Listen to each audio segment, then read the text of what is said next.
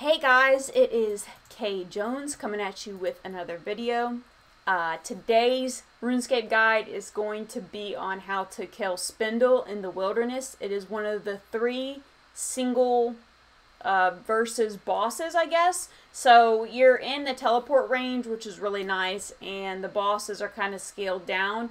So Spindel is like the solo soloable version and non-multi-combat zone Venenatis. So it's a single combat zone, but the boss can still attack you, but only one other person can attack you. It is in the wilderness, so there are PKers, but I'm going to go through some things that may help you to try to um, kind of grind this boss. I've I'm terrified of PKers, and once I got used to this and kind of went with the setup I'm going with, I feel a lot better. So Spindel is in the level 29 wilderness, so you can use a Royal Seed Pod to teleport out. Uh, nevertheless, I wouldn't do this method unless you have a spy account or a scout. So on my other screen, I actually have a level 55 main account that's sitting outside the Spindel layer.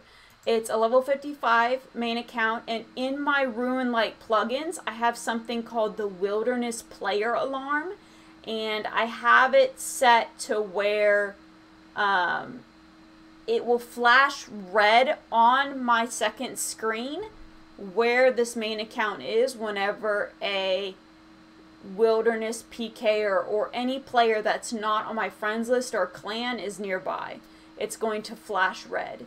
So definitely have dual monitors because I think that's the best quality of life for this. And you don't really even need to pay attention to the second screen unless it's flashing red. It'll catch your attention and you know, hey, there's a PK, right? Or there's somebody who could potentially be a threat.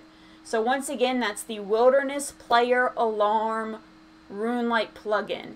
And it, you can change the flash color to be different from red, any color you want. But have that on one screen and then have your main screen.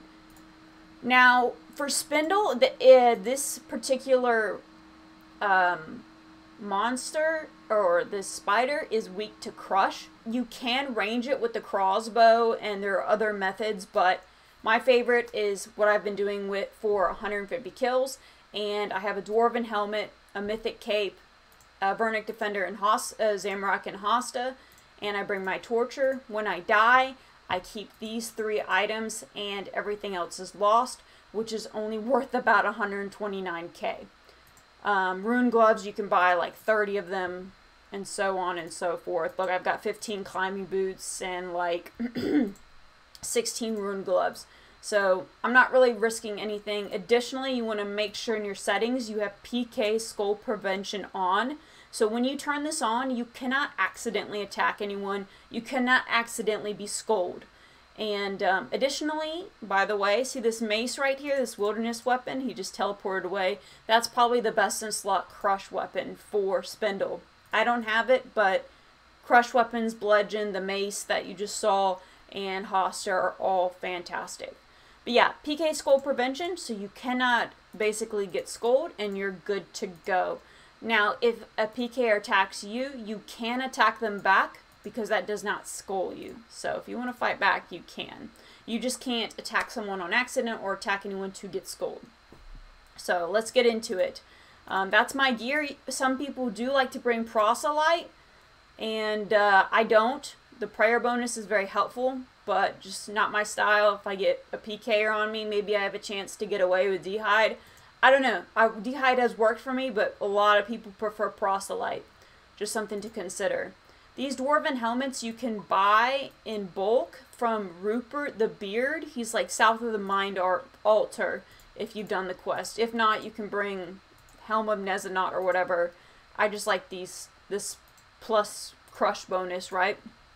Alright, let's get into it. So I have a teleport to my house, um, but you can also use a games necklace if you want.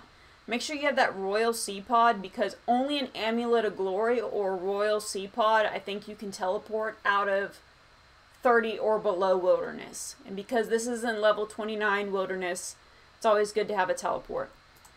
Mithril Darts. that's really good for the spiderlings, and I'll show you exactly what that's used for. You can bring an anti-venom, but you don't need it. Um, if it makes you feel more comfortable around PKers, you can.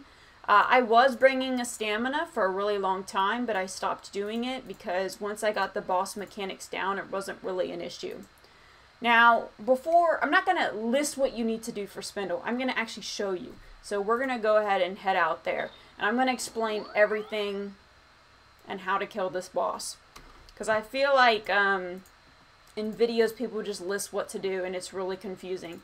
So you can go from your house or just um, get a games necklace and you're going to teleport to the Corporeal Beast. So once again, you can just have a games necklace in your inventory and hit Corporeal Beast. Make sure that um, before you leave this building, that the items kept on death you're happy with and everything looks good. Make sure you have that royal seed pod and additionally that you have uh, or glory, either or. All right, so let's get into it. My scout is at that location. And I highly recommend doing this during the work week. Some people don't have that luxury, but it is a lot busier on um, weekends for sure. So we're going to be heading up north, as you can see. This is the dungeon where the Corporeal Beast is, and we're just going to be running right up here to this dungeon. So, just run north right here. Okay. You're going to see X Microscope X, that is the level 55 main. I don't suggest having a level 3 out here because you could get wrecked just from like skeletons, zombies, whatever, that kind of stuff.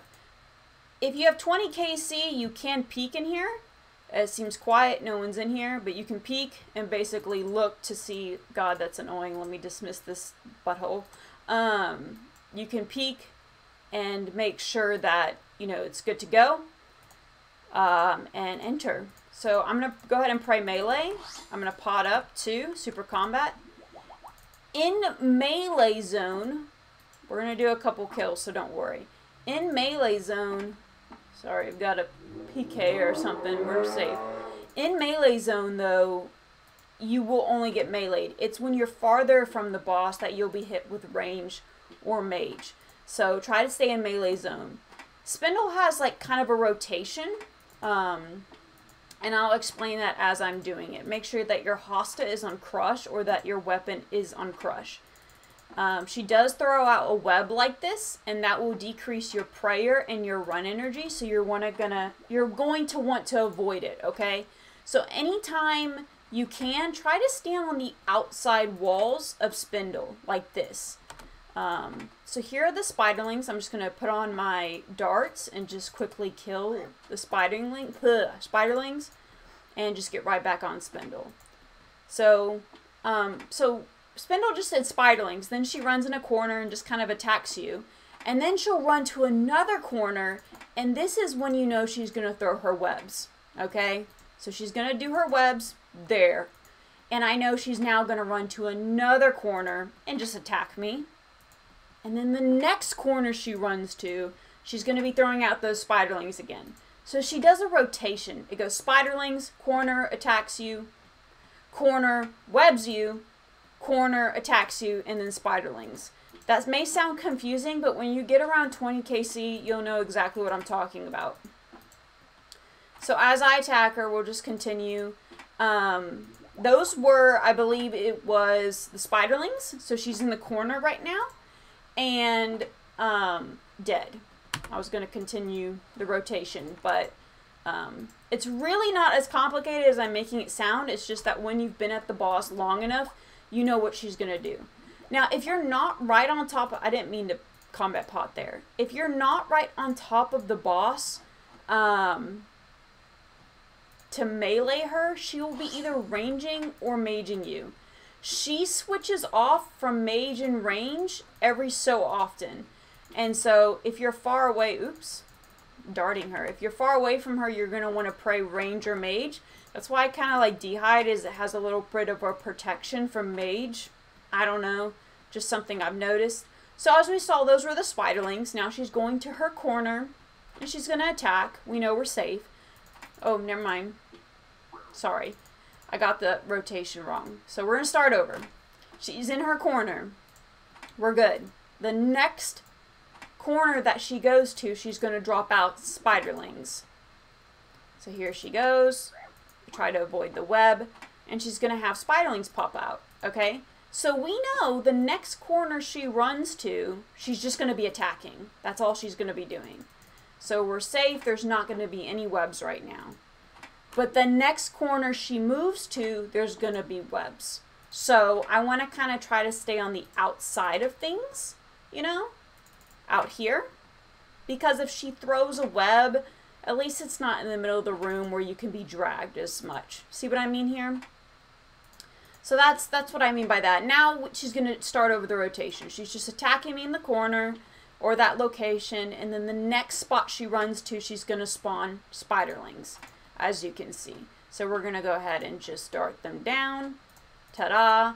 And she's now going to run to another corner and just attack me in the corner. So she kind of has an intermittent, intermittent thing. And then the next corner she goes to, she's going to do webs. See what I'm saying? Um, we know she's going to do webs, so I'm going to go to the side corner. And I'm just kind of wait. There are the webs. Okay, there we go. And now she's going to another spot, and she's just to melee me. But we know the next spot she goes to is to be spiderlings. See what I'm saying, this rotation? So you kind of can, can pick that up. Um, and you don't need darts for these spiderlings. It's just the fastest way to, to go about it. And that's Spindel. Like, very straightforward boss. Um, you may get hit a lot in the beginning, but as you get better and better, you're really going to need less supplies. She does drop a piece of the Void Waker, I think it is. Not sure, I've been out of the game for a while. But it's like one of the best weapons, spec weapons in the game. So that's really juicy. She drops a dragon pickaxe, which is awesome. And here she goes. She starts with spiderlings every time. The boss always starts with spiderlings. You want to kill them because they drain your run and your prayer. Now she's just attacking me in the corner. And then we know the next corner she goes in, she's going to do webs. So we're going to go on the outside like this, okay? And I did get hit with a mage attack there, but that's okay. Now, I'm going to stand far away from her just so you can see the difference between her mage and range attacks. The blue is mage. And then the green, let's see, try to get away here. The green is range. She, she switches attacks, I think, every corner she runs in, to be honest. Um, I'm not too sure about that. I'm always in me melee range, but I'm pretty sure every corner she runs to, she switches it up. So right now it should be mage. So see every time she runs to a new spot, she switches to the other attack. So the next corner she attacks, she'll be range. But um, like I said, if you're doing the method I'm doing and paying attention, you, you shouldn't have to be hit by that very much if you're on top of it. Um, but there I was getting kind of lazy and further away to kind of show y'all the different attacks. The blue is mage and the green is range. Um, so there we have it. That's Spindel. And like I said, once you have gotten some kills under your belt, she's really straightforward. On my other monitor, I have the alt account just checking things out and it will flash red whenever there's a PKer. If y'all have any questions, feel free to leave a comment below. I know people love to give their opinion on if this guide is junk or if it really helped them. I like to really hop right into things and to show people exactly what's going on and to try not to overcomplicate it. But I do feel like this boss is really relaxing once you can kind of get that alt account and look for PKers. And as soon as you see them flashing on that screen outside the cave, just right away, just click your seed pod and you can come straight back out here from the Corporeal Beast. So thanks so much for watching, guys, and I'll see y'all next time. Kudos!